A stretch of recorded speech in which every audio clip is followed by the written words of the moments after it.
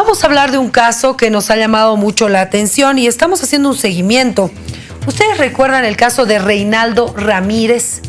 Un joven que había sido condenado, estaba siendo procesado por un asesinato, si mal no recuerdo. Le dieron 30 años de cárcel. Y era porque lo habían confundido y se parecía al, al asesino. Es más, ni siquiera estaba en, ese, en esa ciudad cuando sucedió eso. Pero bueno, esta historia nos las va a recordar su abogado. El doctor José Luis Celada con nosotros vía Skype desde Cochabamba. Doctor, buenas noches. Muy buenas noches, Priscila. Un saludo muy cariñoso para usted, para todo su equipo, a toda la cadena y especialmente a toda la población de nuestro lindo país. Doctor, por favor, para refrescar la memoria al país, cuéntenos un poquito la historia de Reinaldo, su cliente. Claro que sí.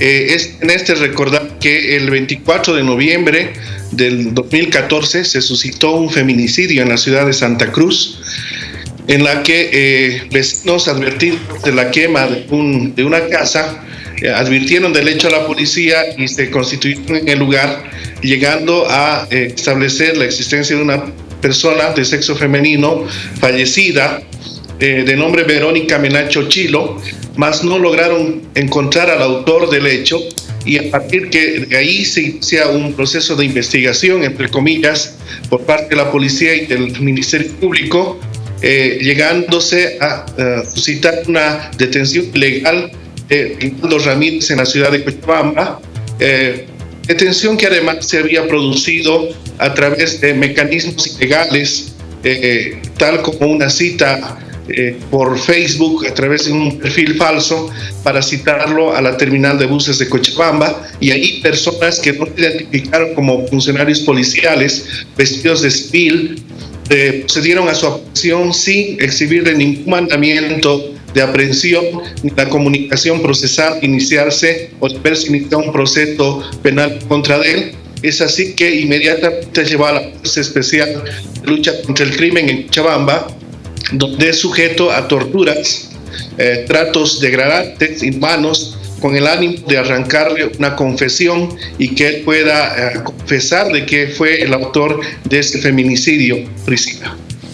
Bueno, eh, ya se da con la verdad, se esclarece la situación, él sale de la cárcel, yo recuerdo que fue noticia y titular en diferentes medios de comunicación, lo tuvimos nosotros también. ¿Qué pasó en este último tiempo?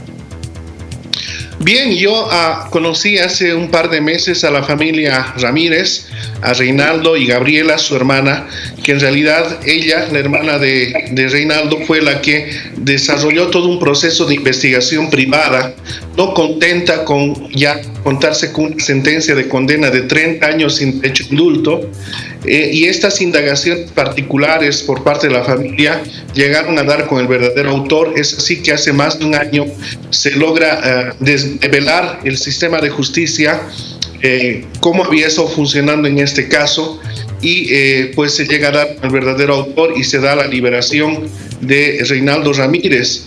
Eh, la pregunta era qué había pasado después de que varias autoridades políticas nacionales autoridades jurisdiccionales, autoridades del órgano del Consejo de la Magistratura habían echado un grito al cielo por este escándalo error judicial, pues que habían quedado en las disculpas para los jueces operadores de justicia y pues eso es lo que alarma en este caso porque eh, se ha dado un total abandono en cuanto a la indemnización que corresponde a las víctimas del judicial.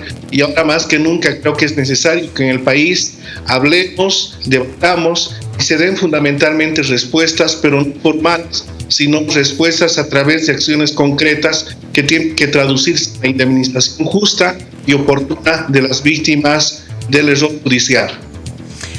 ¿Cuál es el procedimiento después de un año que no hubo una indemnización? ¿Qué están haciendo ustedes?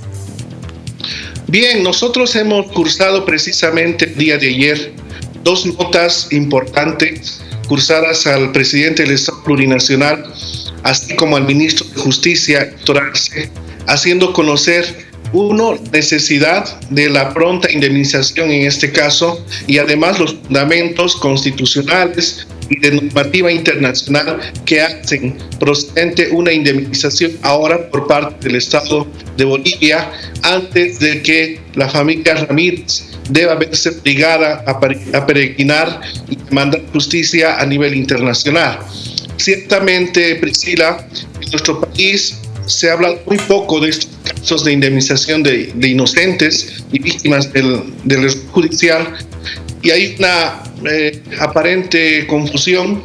Eh, incluso este año, a inicios del año 2018, el Viceministerio de Justicia cursó una nota a la familia Ramírez, a Rinaldo Ramírez, para decirle que deberían esperar los resultados de los procesos penales que se instauraron contra los jueces, fiscales y policías y deciden él, como persona individual, recurrir a un proceso de eh, reparación del daño por la vía civil aspecto que no corresponde en estos casos. Y quizás es bueno ahora esclarecer de que el tema de la responsabilidad civil emerge como consecuencia de un delito que comete una persona particular y la responsabilidad civil que persigue al autor del delito y a su patrimonio. Sin embargo, esto es algo totalmente distinto a lo que es una indemnización de víctimas de error judicial que a diferencia de la reparación del daño, tiene como presupuesto no la comisión de un delito, sino la violación de derechos humanos por parte de órganos y agentes del sistema jurisdiccional y eh, esta obligación de indemnización corresponde ser atendida por el Estado. En este sentido han sido ya pronunciados varios casos a nivel de la justicia o del sistema interamericano de derechos humanos Corresponderá citar casos emblemáticos como el caso Velázquez Rodríguez, González Cruz, Solís Corrales, entre otros, que se han producido contra el Estado de Honduras. Y ahí la Corte Interamericana ha sido muy clara en determinar que en estos casos el Estado, un principio de responsabilidad, eh, debe asumir la indemnización oportuna eh, de las personas que son víctimas de error judicial. Bueno, eh, vamos a hacer entonces el seguimiento. Todavía no se ha tenido ninguna respuesta de estos ministerios. Así es, eh, sin embargo, pese a que esta experiencia tan negativa para Fernando Ramírez ha sido tan catastrófica, la le ha marcado de por vida esta experiencia, tienen aún una reserva de esperanza en las autoridades nacionales. Estamos convencidos de que con un mejor criterio, el ministro de Justicia y el presidente, con la sensibilidad que debe tenerse frente a estos casos, asuman una respuesta positiva y esperemos de que pronto estemos dando una línea de eh, tratamiento a estos casos que, como hemos podido ver los últimos días, ya están dejando de ser casos excepcionales y vemos cada vez eh, está revelando el, el, modo de administrarse la justicia, el modo de acusarse, ya no hay crimen y castigo, si no hay castigo y luego viene crimen, entonces eh, no podemos estar en un estado donde eh, se busque la necesidad, se tenga, mejor dicho, de tener un rostro al delito y se coloque cualquier rostro, el que se parezca incluso fisiológicamente. Muy bien, doctor. Es solo para cerrar. ¿Cómo está Reinaldo? ¿Qué está haciendo? ¿Dónde está trabajando? Bueno, yo debo agradecer este espacio y este contacto a usted, Priscila, a todo el equipo. Eh, por temas logísticos y de horario, ellos no han podido estar en este contacto. Eh, yo estoy haciendo esta presentación y me corresponde decir que Reinaldo eh, no es la misma persona, tiene muchas secuelas bastante negativas que le imposibilitan restablecer un modo de vida cotidiano, él por el momento está trabajando, él ha intentado eh, primero reconstruir su vida, encontrar una familia devastada por este eh, flagelo de la mala administración de justicia y él eh, en realidad de a poco va eh, teniendo confianza en la sociedad, en las autoridades, pero ciertamente este tipo de experiencias nos dejan ver los abogados que no conocemos ciertamente la realidad penitenciaria, la realidad de este tipo de flagelos que producen los graves errores judiciales, Priscila. Doctor, le agradezco mucho por haber estado con nosotros y vamos a estar en contacto para ver qué sucede y qué responden los ministros. Muchísimas gracias por este contacto. Yo soy el agradecido y aprovecho este contacto. Permítame, estamos cerca de mediodía para felicitar a todas las mujeres de nuestro país. Mañana es el Día de la Mujer. Eh, a través suyo, una mujer empática en los medios, a todas las mujeres de la cadena y por supuesto a nuestras madres, esposas e hijas, un cordial saludo. Muchísimas gracias por este contacto. Un abrazo para usted también. Igualmente. Bueno amigos, nos vamos a separar unos instantes y ya retornamos con más en Todo a Pulmón.